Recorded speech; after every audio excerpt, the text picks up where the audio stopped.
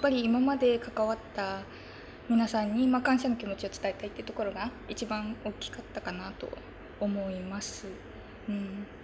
であとはやっぱりあのそうですねあの親族というか両親もそうなんですけどあの両家ともおばあちゃんがなかなか高齢のおばあちゃんがいましてあの2人とも初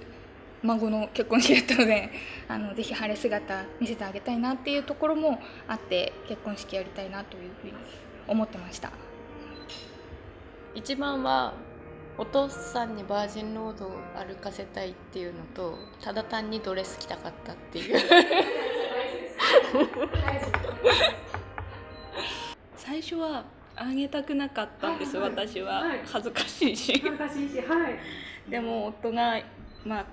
さっきおっしゃってたように感謝いろんな人に伝えるためにもやった方がいいって言われて、はい、すごい説得されて まあいいかっていう感じであげたような感じで。席順が一番苦労しました。この人たちと同じテーブルにするには誰とあと一緒がいいかとか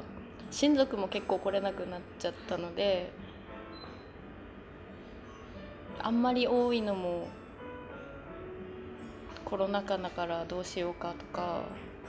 だから親族のテーブル3人とかいましたよね。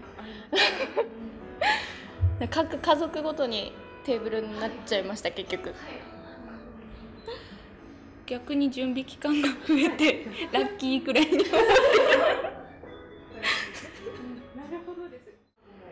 そうですね。家族とはやっぱりあの両家の家族のところに行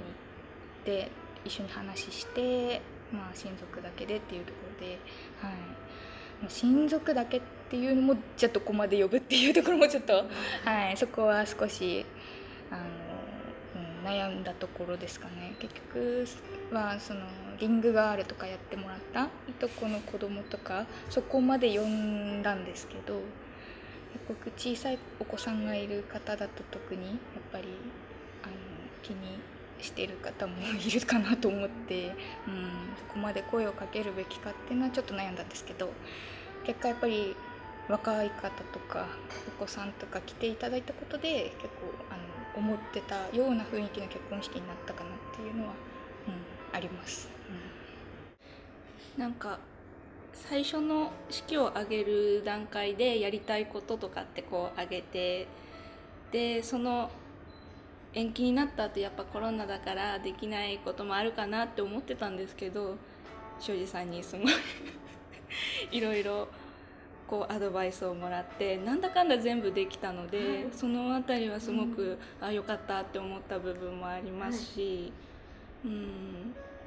なんだかんだ楽しくなればいいなと思ってい。ろいろ準備を進めて、はい、で二次会の時に友達から楽しかったって言ってもらえて、うん、やってよかったなって思いました。友人代表の挨拶とかそういったところを代わりにこうお手紙をいただいてあの司会の方に、まあ、代読していただくっていうようなご提案とかいただいてそれをあのいただいたことですごくあの実際には来てはい。ただけなかったですけどあのなんかこうお祝い。してもらったなってい。う感じがあったのですごくそうい。うのはあの親族だけの結婚式だったんですけどあってよかったなと、うん、思い。ました、うん、私最初親族だけってそうあのなんか会食して終わりかなぐらいの感じに 思っててそしたらもうあの最初にやっぱり友達呼んでやる予定してたような内容一通りは全部あのやらせていただいてあのあんまりその親族だけだからみたいな感じのものがなかったのですごく良かったなと、うん、思ってます、うん、私の母親からサプライズの手紙があってお母さんの手紙でこっちボロボロになっちゃって それ友人もそれにつられてみんな泣いちゃってすごい感動するいい式だったっては言ってもらいました。そうですね。希望は全部塩路さんにお伝えして全部やっていただいたので すごいありがたいですね。コロナって変わったのって4人数ぐらいなんですよ主人の方も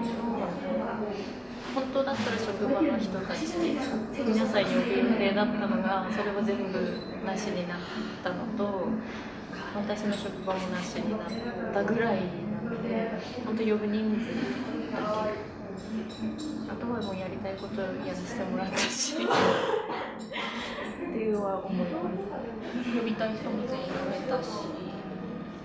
後悔はないですね。ありがとうございます。あの結婚式あのやりたいっていう気持ちをあの大切にしてほしいなっていうふうには思いました。